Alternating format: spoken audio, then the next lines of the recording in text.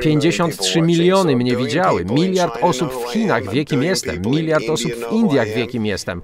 I około 800 milionów poza tymi dwoma krajami. Więc do 2 miliardów 800 milionów osób dotarła jakaś moja wiadomość, a wszystko dzięki temu woźnemu, który powiedział kiedyś, hej, będziesz jeździł po świecie.